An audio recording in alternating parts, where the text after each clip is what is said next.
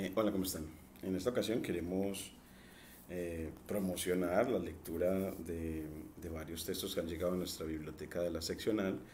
Entre ellos tengo uno eh, llamado Codificación con Python, una guía introductoria para que los principiantes aprendan y comiencen a codificar con Python.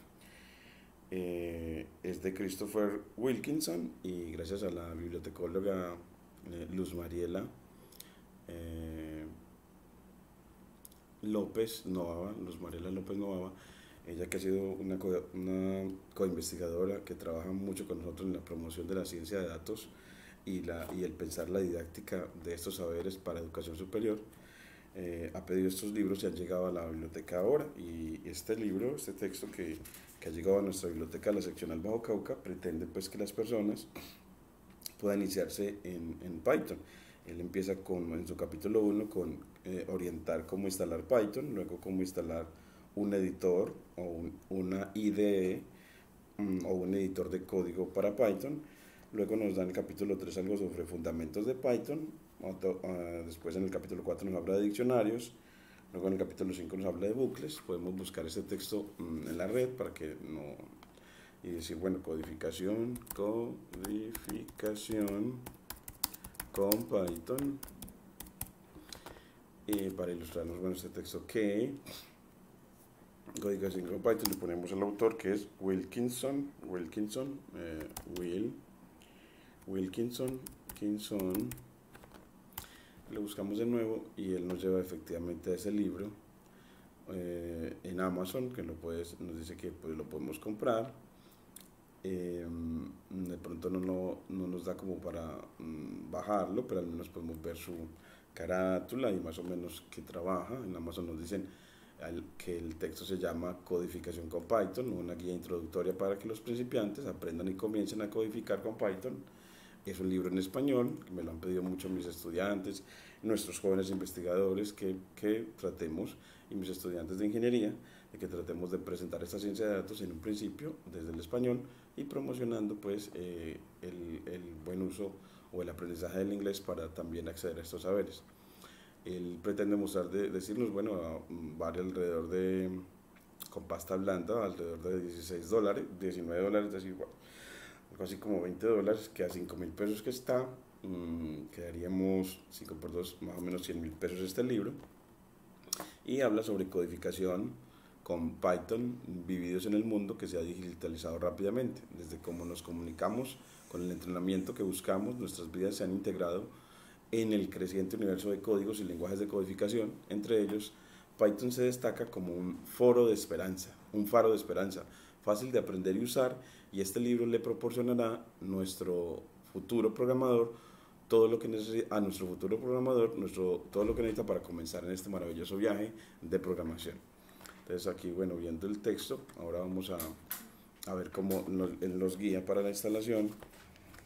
Mm, miremos entonces, esta es una manera como de mm, acompañar desde este video, esta lista de reproducción alrededor de lectura a Wilkinson, eh, acompañar a las personas para la lectura de este texto. Entonces, en la introducción él nos habla como de que vivimos en eso, en un mundo digital, donde la tecnología se ha convertido en una característica más importante en nuestra vida cotidiana.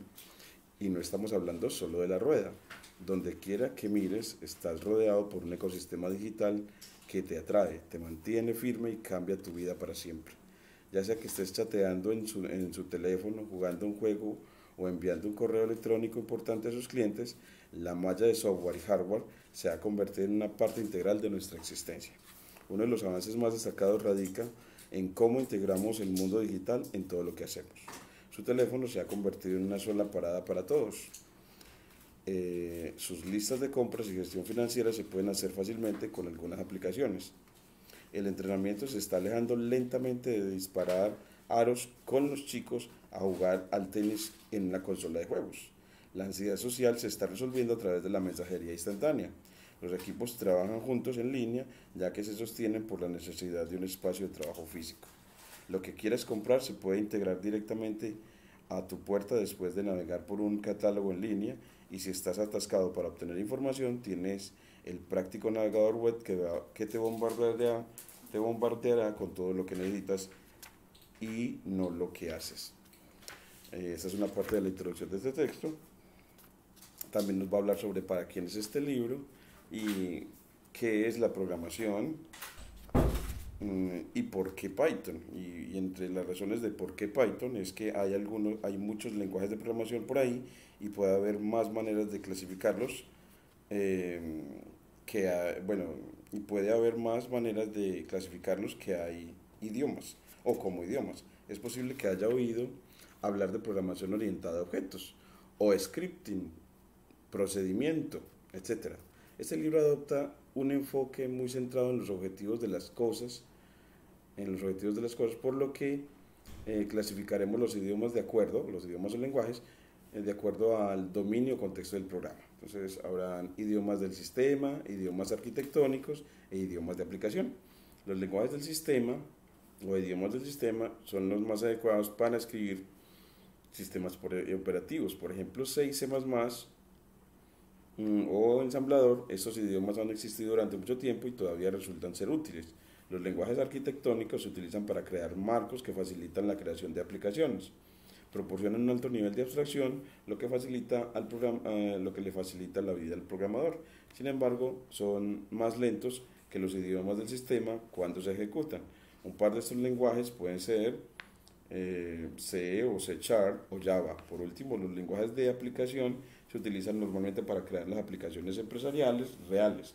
Cada vez que la empresa tiene una aplicación web, como una tienda o una creación de diferentes pantallas para los usuarios, normalmente tiene aplicaciones que se conectan con bases de datos y ejecutan las características a través de ella. Algunos ejemplos de eso sería Perl, PHP y Ruby. Bueno, entonces ahí nos habla mucho pues y ahora ya en el capítulo 1, después de esta introducción, nos dice, bueno, ¿y cómo vas a instalar? Y nos dice, bueno, una de las primeras cosas que tenemos que hacer es instalar Python en el ordenador. Hay algunas maneras de instalar Python. Sin embargo, hoy vamos a instalarlo en el mismo equipo que va a utilizar para la codificación. Solo tiene que seguir las instrucciones de acuerdo con el sistema operativo que está utilizando en su ordenador. Entonces este texto, según el sistema operativo de tu computador, te dice cómo instalarlo. Mm, yo voy a centrarme en mostrar cómo instalarlo para Windows. Para obtener Python debe descargarlo desde el sitio web oficial Python Software Foundation que está eh, así. Usted lo encuentra aquí mismo en el texto nos dice que eh, vayas a la dirección, pues copiar http http eh, slash slash www.python con mayúscula python eh, punto org slash downloads down downloads downloads slash y ya con eso le damos enter y según el libro nos llevará a la parte donde ya podemos descargarlo. Entonces miremos a ver cómo nos va. Él dice que aquí no nos lleva como una parte adecuada, sistema de la nube, almacenamiento en la nube. Entonces mejor, yo te recomiendo que a pesar de que el libro esté escrito de esta manera, entonces vayas mejor a mm, Python, escribe simplemente python.org y él ya te lleva al sitio oficial. Entonces este es el libro, este es el sitio oficial eh, entonces te queda pues aquí grabadito eh, en esta presentación.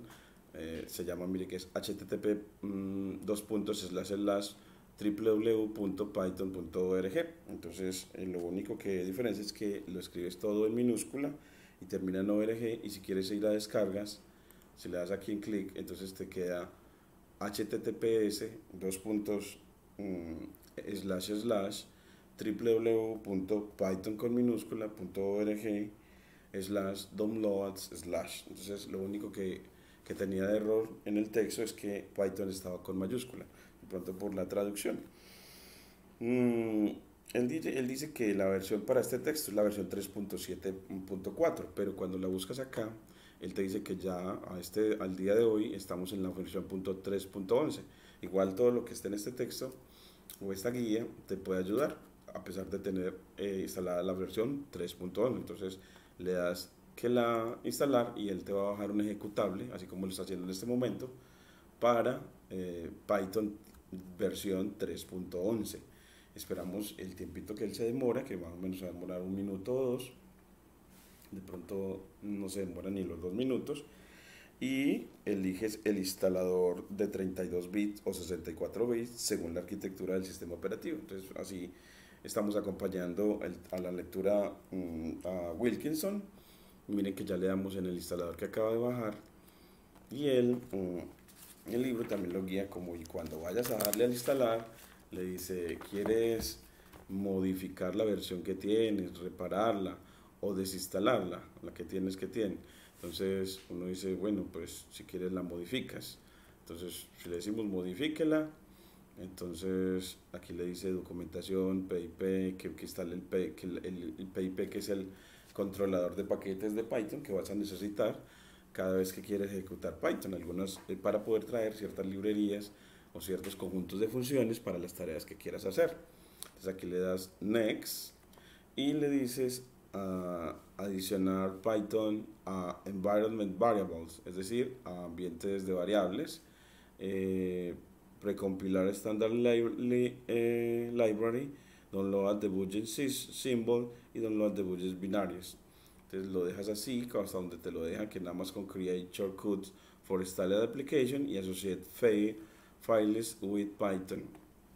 Entonces le das install y él empieza a hacer el trabajo, modificar, modificación fue satisfactoria, es porque yo ya lo tenía, cerramos y ya con eso tenemos Python instalado. Pero el texto, después de guiarte, mm, te dice, bueno, ¿y cómo lo vas a instalar para una Mac OS y también para Linux? Después te dice, ¿y cómo vas a, después de instalarlo según tu sistema operativo, eh, le va a decir que hay que instalar un editor de código en Python, porque así como usted lo instaló, usted le puede decir, bueno, pues mm, con CD, no, perdón, con terminal, y te va a llevar al terminal de Windows del computador. Y terminal lo llamamos, es un espacio desde donde puedes ir a cualquier parte del computador. Inicialmente se ubica en la carpeta marco, entonces él está, empieza en el disco C, dos puntos, eh, backslash user, backslash marco, para decirte estoy en la carpeta llamada marco. Eh, y desde ahí usted le puede escribir Python, eh, Python 3, Enter, y él lo que va a hacer es decirte que qué versión de Python tiene instalada, que en este caso nos dice que tiene la versión 3.10.8, yo esperaría que tuviera la versión 3.11 que acabamos de descargar, de pronto desde aquí él nada más asume la versión 3.10.8, no la ha actualizado, y te pone estas tres... Mm, símbolos de mayor, a eso le llamamos el prompt, y desde ahí puedes escribir código Python. Entonces, desde la terminal puedes escribir código Python, pero es para escribir líneas pequeñas, por ejemplo, sumar 1 más 2 y decirle enter para ver el resultado en la siguiente línea. Dice, ah, sí, 1 más 2 da 3, es decir, que Python lo puedes utilizar como calculadora, como para, para sumar o para multiplicar 2 por 3, pero la multiplicación aquí es con asterisco. Entonces con Python para multiplicar es con asterisco, 2 asterisco 3 es, 2 por 3, le dices enter y te muestra que el resultado es 6 en la siguiente línea de salida diciendo que efectivamente ejecutó la tarea de multiplicar esos dos números enteros y dio el resultado. También puede, además de multiplicar, puede eh, restar 1 menos 2 y enter y le dice que eso da menos 1, es decir, da negativo, es decir, si tienes un dólar y te gastas 2 es porque quedaste debiendo 1 y mm, puedes hacer divisiones. Bueno, pues 4 dividido 4, enter y te da 1.0. La división siempre te va a dar resultado con punto decimal, que para cómputo se llaman números de punto flotante, mientras que los otros resultados en los que trabajé con puros números enteros me dio resultado entero o tipo INT. Entonces así, eh, y así uno también puede sacar conclusiones y decir, ves que cuando divido 4 dividido 4 me da 1. Y en realidad cuando divide 5 dividido 5 también te da 1. Y es que si usted divide iguales, es decir, eh, pues siempre te va a dar 1. Queriendo decir, si tienes 5 naranjas para 5 personas, nos toca de a una. Si tienes 6 naranjas para, para 6 personas, les toca de a una. eh, es decir, que cuando el numerador y el denominador en una, mm, en una fracción son iguales, pues esa fracción es un representante del 1. Así nos muestra conclusiones y esas conclusiones en Python las puedes escribir como una cadena de caracteres, es decir, delimitando con comillas dobles y escribirle eh, el cociente de iguales es igual a 1, a 1.0 y le dices enter y él ya simplemente te muestra esa cadena de caracteres en la línea de salida ya delimitadas solo con comillas simples o comillas verticales que las encuentras al lado del cero derecho del cero, al lado derecho del cero en tu teclado. Ahí está la comilla simple. Y, y en la tecla del 2 está la, comilla, la comilla doble. Es que es muy usual en cómputo trabajar con comillas dobles y comillas simples. Entonces así puedes ejecutar código Python desde la terminal, pero vamos a instalar un, el libro nos dice que instale algún editor y nos recomienda eh, que el computador debe tener como requisitos mínimos 4 GB de RAM, 2.5 GB de espacio en el disco eh, y una resolución del monitor de 1024 x 768 y, y, se recomienda mejor uno de 8 GB, el mío tiene 12 eh, y, y, una unidad SS con, el, con al menos 5 GB de espacio libre y mm, se recomienda mejor una resolución de pantalla o de monitor de 1920 por 1080. Entonces el texto nos, Milkinson nos, nos da todas esas especificaciones para trabajar en, en, en Python, para introducirnos a Python. Eh, según el sistema operativo, él nos dice mejor, es, que es mejor la versión eh, de 64 bits de Windows o Mac o Linux, pero que siempre trabaja con 64 bits. Y, L, y para instalar PyChart le dice, pues vamos al sitio web de PyChart. Entonces aquí lo vamos a ir, vamos a Py de Python, chart, ya con mayúscula Py, chart, PyChart y eh, le dices download, down, download, download eh, gratis, bueno pues free, download free y él nos lleva a algún lugar en la nube en donde podemos descargarlo, nos lleva a este sitio web um, con esta dirección que nos dice que en donde le podemos decir descargar. Cuando lo descargas te va a aparecer así como yo, que yo lo bajé ahorita, nos dice este PyChart Community, eh, versión 2022.2.3 y nos, da, nos baja un ejecutable y tú le das a ese ejecutable y le das siguiente para que eh, también te haga la, la, instalación.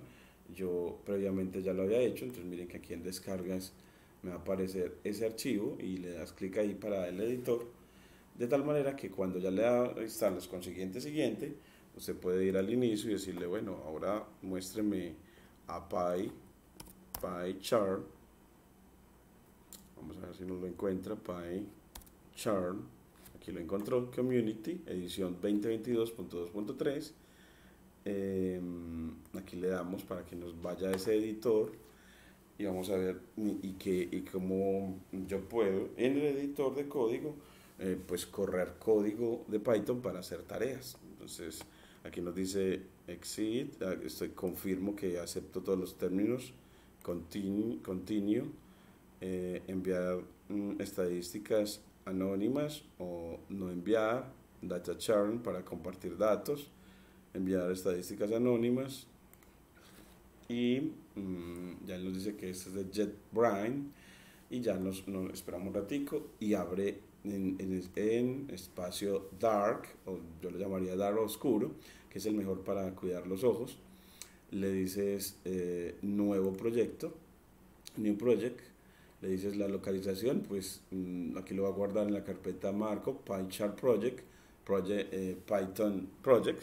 Mm, de pronto lo puedes llamar, eh, de pronto lo puedes decir, no, la localización yo quiero que sea en mmm, marco, vamos a ponerle por aquí, marco mmm, documents, documents, eh, miremos que en marco está documents, miremos en nuestro explorador le decimos en nuestro equipo, nos vamos a nuestro disco C, aquí está eh, users, usuarios, aquí está Marco y en Marco está, eh, miren todas estas carpetas y está dentro de ellas la carpeta em, Anaconda, pero la que yo requiero de ellas es descargas. Entonces por eso ya le dices downloads, lo dices mejor en inglés.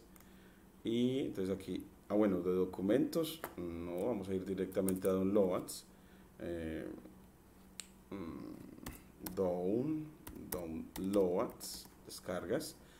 Y le dices backslash y ya le dices el nombre del archivo, pues queremos que se llame mi guion bajo primer eh, programa en Python, en Python, no utilices espacios ni utilices tildes al nombrar los archivos y termina con .py eh, para decir que es un archivo mm, de tipo, tipo Python o del lenguaje Python.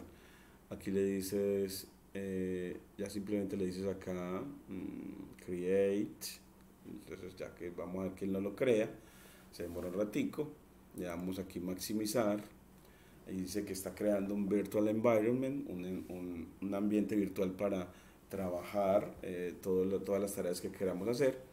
Y luego está ahí, bueno, se, demora un ratico, dice que está actualizando. Eh, generalmente va a actualizar muchas cosas. Nos da este, este código que el if guion guion bajo name guion guion igual igual y una cadena de caracteres con guion bajo guion bajo main guion bajo guion bajo eh, y termina en dos puntos. Y después diciéndole que después de esa sentencia está imprimir high imprimir height como una función print height que aquí creó previamente en la que le entra un número y muestra en este formato eh, algo como high para decirle o imprimir un nombre. Entonces vamos a decirle, miren qué es lo que él hace. Cuando yo le digo, llame la función print, print height. Entonces miren que él mm, tiene una forma de completar. Eh, la función se llama print height. Aquí nos trajo el nombre. Le das aquí. Le das aquí enter. Y le dices el nombre. Entonces dice que entre el nombre. Entonces entremos mi nombre, Marco. Entonces, y ya la corremos. Y miren que es una función. Vamos a ver cómo nos, cómo nos trabaja. Ah, bueno, le decimos que por favor guarde control S, lo que acabamos de hacer. Y este archivo que él llamó main.py, mmm, vamos a decirle que... Mmm, vamos a decirle que, lo corra. Entonces le decimos run eh, run main, aquí le dice, lo corre y nos dice que eh, hay un error en la línea 17, dice que eso es lo más usual que usted también vaya a encontrar en programación y es que encuentre estos y le diga que hay un error de nombre, name error, dice que marco no está definido, entonces le podemos decir, bueno, pues pongamos ese nombre delimitado entre comillas simples, a ver si esta función le tiene que entrar las, las nombres eh, como cadenas de caracteres. Entonces, bueno, la corremos de nuevo, run, run main, y él nos dice efectivamente que con todo pues, entró bien, es decir, que es una función a la que le tienen que entrar cadenas de caracteres, y lo que saque ella es un saludo, hi Marco. Lo que sale ella es hi Marco. La función es una función que se llama print hide, es decir, imprima saludo, dado el nombre. Entonces, le da un nombre como cadena de caracteres y él te imprime el saludo. Por ejemplo, a mi compañera de trabajo yo le diría, bueno, eh, vamos a, darle un saludo a, un saludo a, Luz Mariela, entonces López Noava, ah, pues entonces a Luz, eh, Mariela, López, Noava, y le, dices run y corres, y aquí en esta eh, terminal, abajo, te aparece que el saludo a Luz Mariela, dice hola, Luz Mariela López Noava porque corrió esa función que él creó previamente. Y las funciones se crean así. La sentencia def, nombre de la función, argumento de la función, termina en dos puntos, y luego el cuerpo de la función, en la que le dices eh, una documentación, aquí le dice bueno, control, e, control Z, para que vuelva todo como estaba. Le dice, use a break, break point, break point in the code line below the, to debug your script. Y en la siguiente viene lo, lo, que tiene que hacer esa función y es utiliza la función print que es para imprimir en formato mm, F, comillas simples, high, coma y entre llaves va a entrar lo que entre, le da el nombre del argumento, en este caso name, y se termina las comillas simples. Entonces es para poder que en el formato eh, a, esta, a esta cadena de caracteres que es un saludo, le una el nombre que vaya entrando mm, entre estas llaves, para decirle que entre estas llaves va a entrar un, un, nombre dado por el usuario. Es decir, el argumento de, mm, mm, de la función print height. Print height. Eh, entonces, las funciones van a llamarse, lo que les entra se les llaman argumentos y lo que les sale se les llama valores. valores. Entonces, aquí lo que sale es un saludo, ese es el valor que, obtenemos de esta función cuando, obtenemos el, cuando damos el nombre de la persona. Em, también quería hacer un elogio también a Diego, mi estudiante. Entonces, aquí le vamos a dar también el saludo a Diego. Le decimos, bueno, Diego, mi estudiante de licenciatura en matemáticas, que dice, bueno, Diego, que queremos que él siga adelante en esta introducción a Python eh, como una herramienta que puede ayudar también a la enseñanza de las matemáticas en, nuestro, en, este nuevos, en estos nuevos tiempos. El Python y también veremos cómo mm, también orientamos para eh, que estar en R. Entonces aquí miren que le doy otra vez Run y él aquí en la parte baja me tiene que aparecer el saludo Hi Diego. Eh, así nos, nos saludo, mm, nos saludo de así aunque también está mm, increyendo el high chart de cuando llamaron esta función acá, de cuando le llamaron. Entonces la está corriendo aquí y la está corriendo acá. Y para que la corra aquí es porque esta sentencia se está cumpliendo, porque el nombre sí es igual a main, porque el nombre sí es igual a main y es que el nombre de este archivo sí es igual precisamente a main.py. Entonces los, los archivos de .python van a ser efectivamente mmm, de extensión .py o .py o .py. Y así ya aprendes pues como por primera vez cómo em, eh, instalar Python y correrlo em, y instalar el editor. El editor es como este espacio en el que miren que tiene esta primera ventana a la izquierda con la estructura de las carpetas donde estás. Pues aquí te muestra que estás en, en la carpeta mi primer programa en Python y en ella creaste un archivo llamado main.py, aunque lo creó él por defecto, y en él hemos escrito un programa, eh, en este caso el programa simplemente imprimir saludos, que es, él por defecto nos trajo una función que eh, imprime saludos, entonces nos enseña también cómo y cómo se escribe la sentencia para mm, con F, entre comillas simples, mm, hacer que una cadena de caracteres predispuesta le puedas sumar algo más o concatenar algo más que entras eh, a través de una variable llamada en este caso name. Entonces esa es como la primera introducción que te quiero dar a, Python gracias al libro de Wilkinson que nuestra biblioteca de la seccional Bajo Cauca, el sistema de bibliotecas nos ha traído gracias a la gestión de los Mariela. No olviden pues suscribirse a mi canal, eh, porque nosotros podemos eh, como llevarte o acompañarte de la mano eh, en la introducción a Python y a R como lenguajes que para la enseñanza de la matemática y el aprendizaje de la misma en estos nuevos tiempos consideramos muy relevantes y mostrar mm, en este mismo canal cómo la ciencia de datos es un ejemplo de aplicación de la matemática y que es muy relevante para todas las disciplinas de investigación y para las empresas generalmente en el sector privado. es muy importante esta ciencia de datos. Entonces, estos lenguajes se vuelven un, un acceso a, a, unas aplicaciones de la matemática muy eh, que hacen más cercano a los, a los estudiantes a, a, conseguir empleo, sea como docentes, o sea como ingenieros, o sea como biólogos, o sea como cualquier disciplina, porque eh, Python y R permiten eh, manipular datos. Entonces también dele a la campanita para que le lleguen las notificaciones de los nuevos videos porque este video hace parte del primero de la lectura a Wilkinson, a Wilkinson eh, en el que se orienta cómo usar Python. Muchas gracias.